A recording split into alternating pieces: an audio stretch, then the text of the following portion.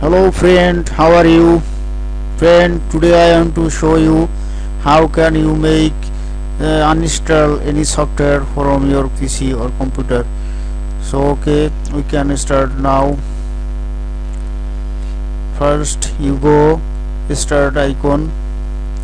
Then you have to go control panel. See here lots of program. You have to go programs and future. This one push.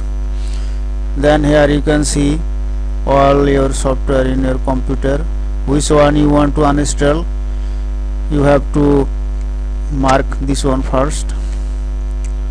So I have to uninstall this CyberLink Power Director.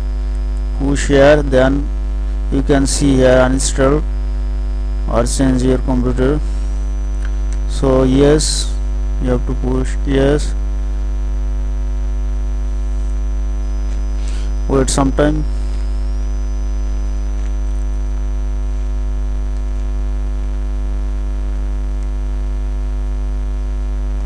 Uninstalling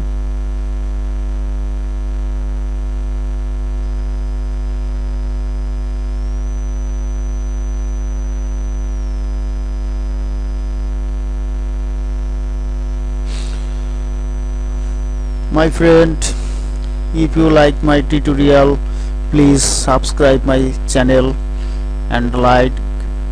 So for active with me. Next time if I make any tutorial for you you can see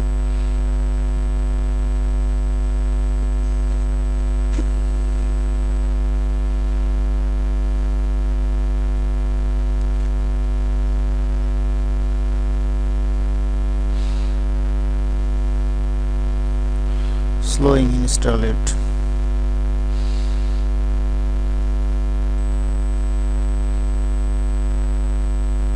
Waiting for 100% uninstalling. Complete uninstall it. Click ok. Then don't have that software in my computer.